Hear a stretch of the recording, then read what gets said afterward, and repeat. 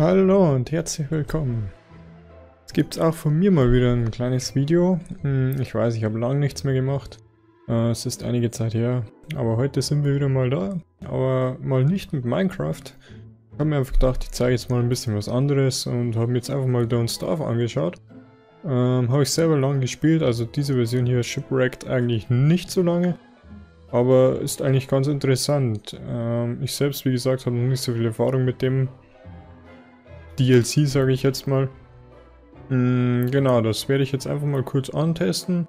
Und wenn es euch gefällt, ähm, schreibt es mir einfach in die Kommentare, dann werde ich da auch vielleicht länger mal was machen.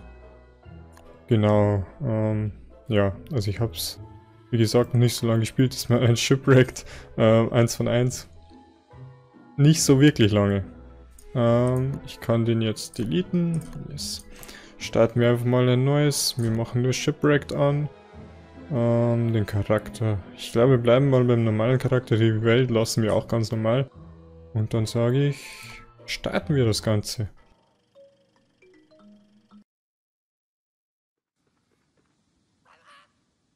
Und das sind wir auch schon. Ähm, genau, ja, ist jetzt ein Papagei? Äh, nicht ein Papagei. Doch, Papagei der uns hier begrüßt. Nicht mehr der normale Typ. Ich weiß gar nicht mehr, wie der heißt. So lange her, dass ich das gespielt habe. Ist echt eine halbe Ewigkeit. Genau, also man sieht schon hier, wir sind jetzt auf einer Insel, nicht mehr, also man sieht es jetzt noch nicht. Und genau, jetzt gehe ich hier mal, schau mal, genau, hier sieht man es. Wir sind hier auf einer kompletten Insel. Hm. Beziehungsweise ich kläre jetzt glaube ich erstmal, worum es in Don't Starve eigentlich generell geht, weil ich weiß nicht, ob jeder Don't Starve kennt.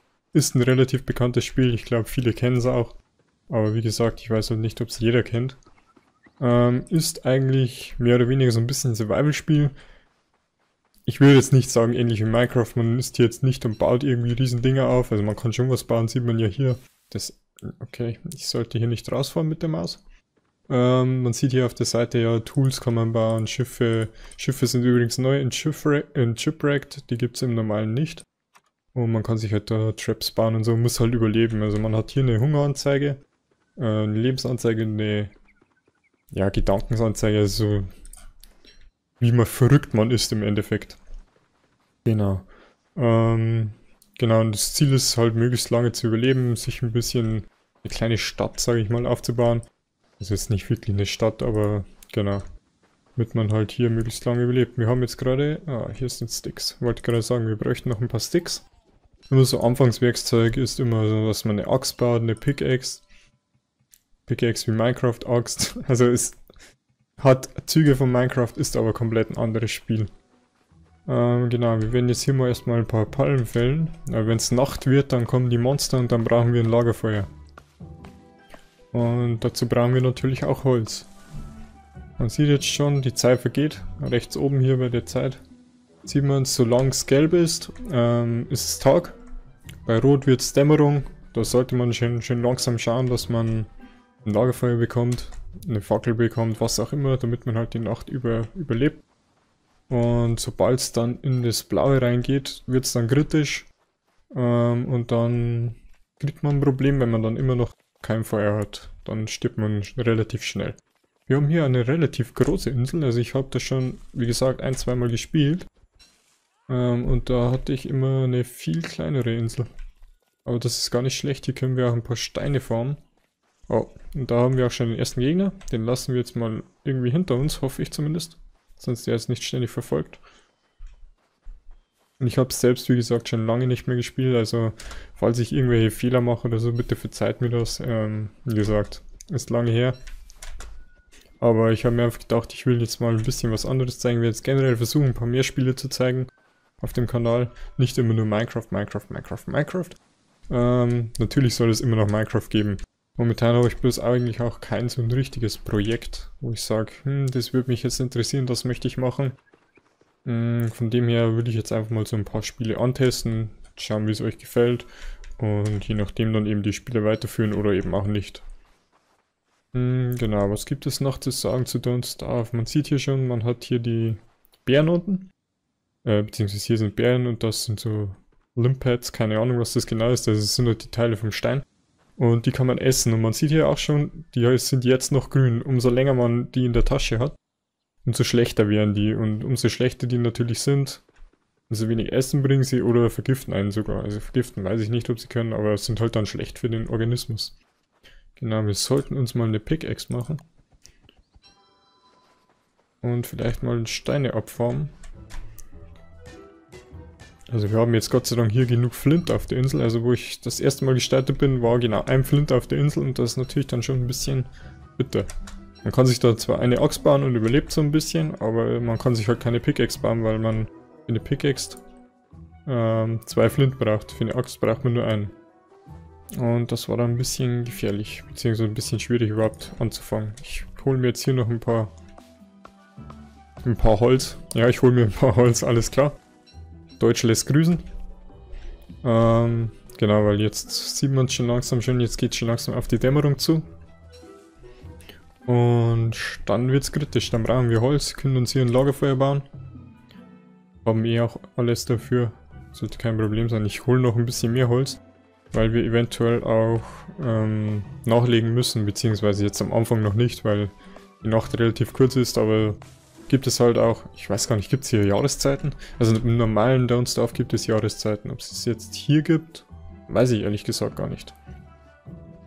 Genau, und im normalen Don't Starve ist es halt so, wenn die Winter ist oder so, dann gibt es halt mehr Nacht und weniger Tag und dann wird es halt immer schwieriger. Im Winter wachsen dann zum Beispiel auch keine ähm, Beeren mehr oder das, das Zeug, was man selber anbauen kann. Man kann hier so, also Beifel, glaube ich, ist das drin. Äh, äh, oder auch nicht. Ähm, ich weiß ehrlich gesagt gerade nicht, wo es ist. Auf jeden Fall gibt es da also Beete ähm, und die kann man sich halt auch anbauen. Jetzt sollten wir nicht mehr hier reingehen, weil jetzt hier die ganzen Schlangen rauskommen. Und wir sollten einfach schon langsam mal irgendwie, ja, uns ein kleines Lagerfeuer machen. Nehmen wir noch ein bisschen was mit. Essen haben wir ein bisschen würde ich einfach sagen, wir platzieren uns hier jetzt mal ein Lagerfeuer. Das geht? Jo, geht. So, dann können wir hier nebenbei, wenn wir am Lagerfeuer stehen, ich muss es echt ändern, dass ich hier... Ja, ich bin dämlich. oh Mann, das war jetzt wieder so richtig intelligent. Ich habe nicht schon eine Pickaxe. Ich muss mir natürlich noch eine bauen. Alles klar. Was auch sonst. Ähm, was wollte ich jetzt eigentlich sagen? Genau, ich wollte eigentlich noch ein paar Grundsachen euch erzählen. Äh, und zwar nämlich, habe ich ja früher mit DX-Story aufgenommen. Mache ich jetzt nicht mehr, einfach der, ja, zum einen irgendwie DX-Story. Mit DX-Story habe ich immer mit, den, mit einem bestimmten Codec aufgenommen und den mag mein Schnittprogramm wieder nicht. Dann habe ich da wieder ewig rum tun müssen. Und deswegen nehme ich jetzt einfach mit, mm, mit, mit, mit, mit, sagt's mir? OBS, also mit OBS Studios auf und da funktioniert das eigentlich alles recht schön. Ähm, also hoffe ich zumindest, wir werden sie jetzt dann sehen. Ähm, genau, und deswegen, ja, hoffe ich mal, dass das jetzt besser hinhaut und dass das mein Schnittprogramm dann auch mag. Sehen wir hier, das Feuer wird immer kleiner und wenn wir wieder nachlegen, wird das Feuer größer. Genau, und ja, ich hoffe mal, das haut hin und ich hoffe, ihr habt noch Interesse. Ich weiß, ich war ewig nicht mehr da und das es würde mich total freuen, wenn immer noch welche von den alten Leuten jetzt kommen und sagen, hey, bist wieder da? Schön, können wir wieder was schauen oder so. Ich würde mich total freuen. Natürlich möchte ich auch wieder neue Leute dazu bekommen. Ich habe jetzt noch nicht so die riesen Abos. Ich glaube irgendwo um die 200 oder so. Ähm, genau, und das will ich jetzt einfach ein bisschen wieder versuchen, da ein bisschen reinzukommen. Ich kann euch auch nicht versprechen, dass es so regelmäßig Videos geben wird. Ein Problem ist einfach, ich mache zurzeit die Berufsoberschule, das heißt zumindest bei uns in Bayern. Ähm, also ich hole mein Abi quasi nach. Und das ist relativ stressig. Ich habe, bin jetzt gerade in den Ferien. Also habe jetzt gerade ein bisschen Zeit, mich darum zu kümmern, wieder das alles einzurichten, muss mein Computer wieder neu einrichten drauf. Weil ich natürlich seitdem einen neuen Computer habe. Ähm, falls euch da mal die Komponenten oder so interessieren, könnt ihr mir ja mal in die Kommentare schreiben, dann werde ich die mal verlinken. Ähm, genau, und Dementsprechend muss ich jetzt alles wieder herrichten, muss ich alles von neuem anfangen quasi. Und darum kann es auch sein, dass die ersten Videos mal nicht so qualitativ super toll werden. Aber ich versuche das natürlich alles wieder so ein bisschen hinzukriegen. Ist jetzt hier wahrscheinlich auch relativ wenig Gameplay, relativ viel Gelaber in dem Video. Aber naja, es hilft ja nicht. Irgendwie muss ich es euch ja erzählen. So, jetzt schauen wir mal, dass wir ein bisschen weiterkommen. Also das erste war eigentlich mal so, dass wir uns so ein kleines, ja, Raft bauen, also ein Floß. Dann werde ich jetzt nochmal hergehen und hier rechtsklick. Ja, wir haben jetzt hier keine ausgewachsene, ist das auch gerade mal egal. Ähm, werden noch ein bisschen Holz farmen, damit wir dann da loslegen können. Nehmen jetzt einfach ein bisschen mehr mit, damit wir dann auch schlimmstenfalls uns wieder ein Lagerfeuer machen können. Ist immer wichtig, sowas im, in der Hinterhand zu haben, quasi, dass man immer ein Lagerfeuer machen kann. Und ein Tipp, den ich schon gelernt habe, diese Rocks, wenn es nicht unbedingt sein muss, nicht abbauen.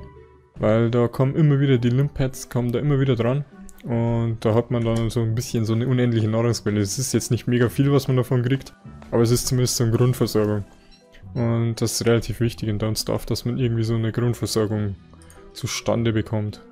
Eigentlich brauche ich noch gar kein Floß. Was soll ich euch... Ja, ich wollte wahrscheinlich sehen, wie das Ganze so ein bisschen anders ist mit dem Ding. Ähm, darum werde ich jetzt einfach mal ein Floß bauen. Ich werde aber wahrscheinlich wieder zu der Insel zurückkommen, weil die eigentlich schon relativ interessant aussieht. Genau, eine Sache, die ich noch nicht so ganz verstanden habe.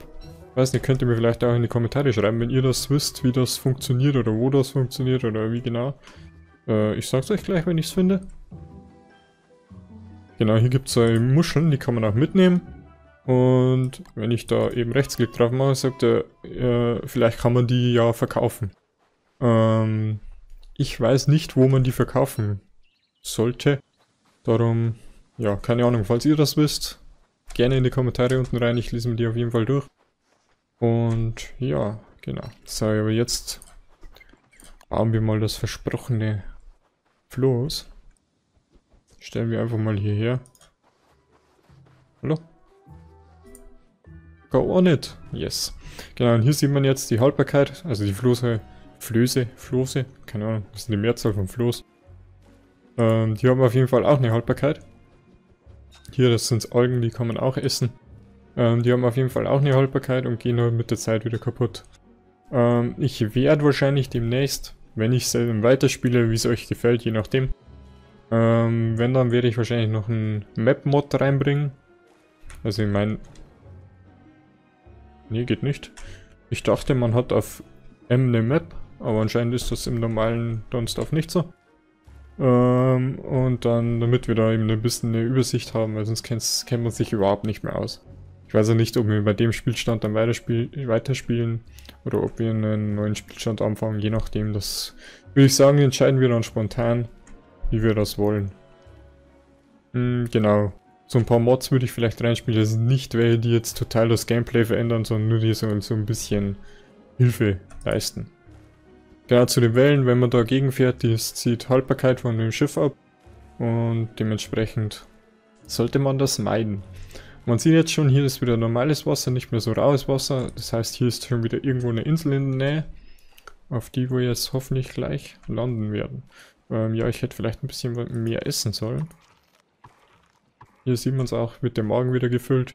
Und normal habe ich auch noch so ein Mod oben, Oh, hier gibt es Schweine. Oh, ich glaube, die sind aggressiv, oder? Bist du aggressiv? Okay, die sind nicht aggressiv, Gott sei Dank. Ähm, was war ich jetzt gerade? Genau, ich hatte auch noch immer so einen Mod um, der dann zeigt, wie viel ähm, Hunger das gibt, wie viel Herzen, wie viel Gehirn. Ich weiß nicht genau, wie man das bezeichnen soll. Ähm, das gibt und das ist eigentlich auch immer ganz nützlich. Sehe ich jetzt auch nicht wirklich als Cheaten an oder so.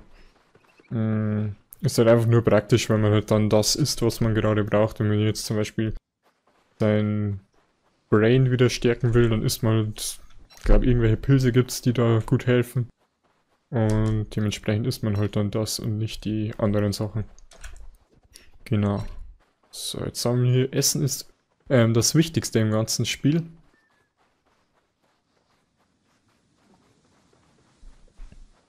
Ähm, genau, weil wie gesagt, das heißt ja auch don't starve. Also verhungere nicht. So, jetzt schauen wir mal, was können wir denn als nächstes machen? Also wir könnten uns mal so ein bisschen... Ja, können wir halt darauf an, ob wir uns hier niederlassen wollen. Ja, ganz wichtig wäre es halt irgendwie Gold zu finden, weil wir dadurch dann den... Wie heißt der? Die Science Machine machen können. Und mit der können wir dann wieder mehr Rezepte machen und nochmal eine andere Maschine, mit der wir nochmal mehr Rezepte machen können. Ähm, die zu finden, Gold zu finden, ist hier bloß, glaube ich, relativ schwer. Also ich habe bisher noch kein Gold hier gefunden. Hm, darum weiß ich nicht. Müssen wir wahrscheinlich ein paar Inseln abklappern. Und das sind dann solche Steine, wer es nicht kennt. Ja, sehen ein bisschen anders, sind länglicher, glaube ich. Und da sind halt so Goldadern drin in den Steinen. Und ja, braucht man da halt für. Oder wären zumindest nicht schlecht, wenn man die mal hat. Aber ihr seht schon wieder, es wird schon wieder, geht schon wieder den, der Nacht zu. Ähm, ich würde jetzt sagen, wir bauen uns hier noch ein Lagerfeuer, wieder nur ein provisorisches. Und dann würde ich auch sagen, was das erstmal mit der ersten Folge. Ähm, wie gesagt, ich hoffe, also ich bedanke mich bei jedem, der immer noch dabei ist, immer noch sagt, ja, von dir will ich was sehen. Riesen Dankeschön und alle Neuen, die dazukommen, auch ein riesen Dankeschön. Und ja, wenn ihr Lust auf Don't Starve habt, dann schreibt es mir in die Kommentare, dann werde ich das weiterspielen. Ansonsten werden jetzt ein paar Spiele einfach immer wieder kommen. Ich sollte ein Lagerfeuer machen, nicht zu viel labern. Ähm, ein paar Spiele einfach immer wieder kommen. Ein paar verschiedene Spiele, damit man halt mal ein bisschen Abwechslung hat und auch ein paar andere Spiele mal sieht. Ich habe schon ein paar ähm, Studios angefragt und dementsprechend habe ich da auch schon ein paar Einwilligungen bekommen, dass ich das Let's Playen darf und die werde ich dann eben ein bisschen Let's Playen. Ja, gut, dann würde ich sagen, warten wir noch kurz, bis die Nacht vorüber ist. Dass wir dann, falls wir hier weiterspielen, nächsten Tag dann am Tag starten. Und pflanzen hier einfach noch ein paar Bäume. Richtig sinnlos, falls ich nie wieder auf die Insel komme, war das jetzt richtig doof, aber okay. Vielleicht bin ich auch nicht ganz intelligent. Aber naja. So, wie sieht's aus? Nacht ist gleich vorbei. Ich werfe erstmal mein Headset-Teil runter. Okay. Ne, dann würde ich sagen, was das jetzt vom ersten Part. Wie gesagt, ähm, schreibt mir in die Kommentare, ob ihr mehr Lust drauf habt und dann sehen wir uns beim nächsten Part wieder. Vielen Dank, bis dann, tschüss.